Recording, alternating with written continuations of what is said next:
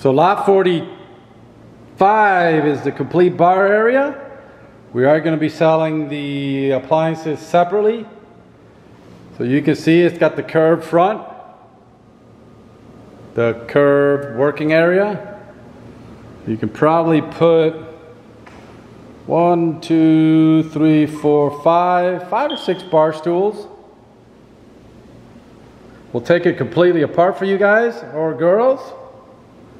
So basically from right to left, it measures 124 and a half inches long, 26 and a half inches deep, 36 inches tall. Coming out of the wall, all the way to out here, is 82 inches long. 82 inches. The bottom part, no, it's 82 inches, 82 inches.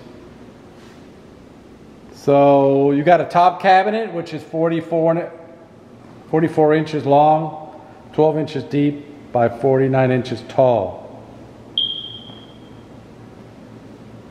Got plenty of storage. You put all kinds of liquor bottles, utensils, you name it. Got a double door storage down here. Goes all the way to the corner. Nice Franke sink. More storage. The two appliances we're going to sell separately. And we'll take everything apart. This is the same tops as the island and the butler's pantry. So basically you're gonna have one, two, two pieces right there. You're gonna have one, two, three pieces up here.